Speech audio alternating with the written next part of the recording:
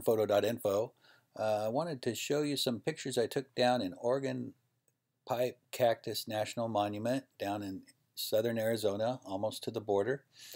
Um, we we rolled in here on a really gray day. The wind was blowing. We set up camp, uh, just having some dinner in the car, trying to stay out of the wind when my son noticed that the light was peeking out under, as it was setting, it peeked out right under the cloud cover and started lighting up the landscape. So we threw our uh, food aside, grabbed a camera, and just hustled out. I knew that the light wouldn't last, and we're literally chasing it here. This is a, a cactus that's found um, in this uh, this park uh, in I guess in the United States is the only place they occur in you know, naturally. Uh, I think they have them in Mexico as well, but um, we wanted to see these cactus, these organ pipe cactus, and so it looked like we were hoping for some better light the next day because it didn't look like it was going to happen. But right at the end of the day, the light peeked out. So we grabbed a camera and ran out the door. Uh, anyways, uh, so here's where I start this sequence, and I want you to take note of the timestamp 5 p.m., 5:38 and 34 seconds.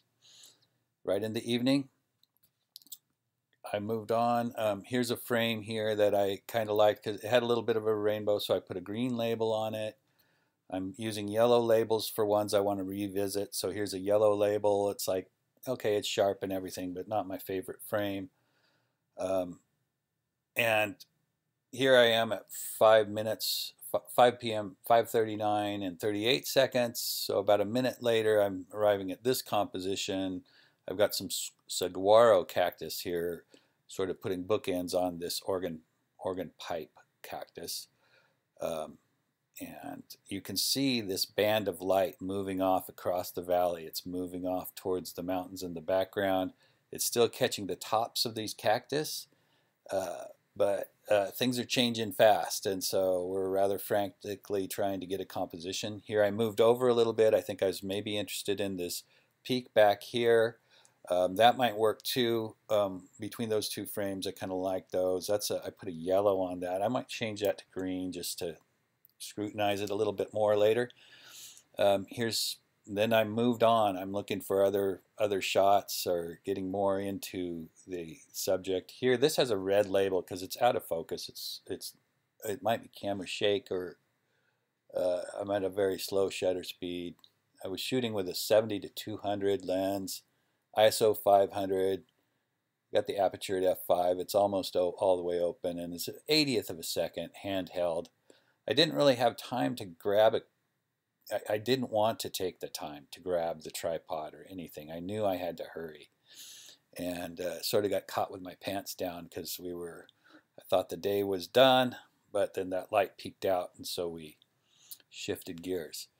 That's the red label. It's soft, but really, what I wanted to point out as as the light's moving off, you can see how fast it is. Now we're at 5:41 and 34 seconds you know, three minutes later, it's off the valley floor and onto the hills in the background.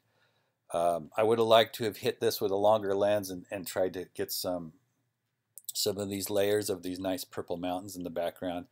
But again, I had the one lens. I knew that if I took the time to try to run back to the car to get a longer lens, I would just miss it all. So I just kept working with it. Um, but the light is fading fast. You can see it moving up the mountains now. Uh, some of these are getting softer because I've very slow shutter speed. And that's the last frame, and that's 542 and 54. So four seconds. So that's uh, four minutes 20 seconds um, elapsed time um, for those, you know, however many dozen frames or so, a couple dozen. Um, so that's the lesson really is when you see the light like that um, it would be better to be prepared ahead of time and be standing out there when that light peeked out but I literally was not thinking uh, I was going to get anything and was not ready. But this is what I came up with. The lesson here I guess is just to when if if you see light like that you know you got to move on it fast and uh, this is what we came up with. We, this was one of my favorite frames. Let's take a look at it quickly in Photoshop. This is opening in, it's a raw file, so it's opening in camera raw. And you can see that the light's painted off the bottom of this. What I'll do is I think I'm going to look at the shadows and just see if I can open them up a little bit more to achieve what my eye saw. And I'm going to open until somewhere in there. Um, yes, this is still in shadow, but I, it, it looks a little bit more like I saw it with my eye. I'm not going to do anything with the exposure. The exposure is good. Uh, the color looks right. Uh, we got this nice warm light against this this neutral background, which you know makes that nice evening light even that more much more intense. And so I'm happy with this frame. It's where I settled on. Um, but I will look at some of the others uh, later just to see if I like them too. Um, point being, the light's fleeting when it's like this. You better get out and move fast. Be better to be prepared ahead of time and be sitting out there when the light peeks out on your tripod and everything. But if you don't have that, just get out there, make those frames in the good light. It's been said before, but that's where your best results are going to happen.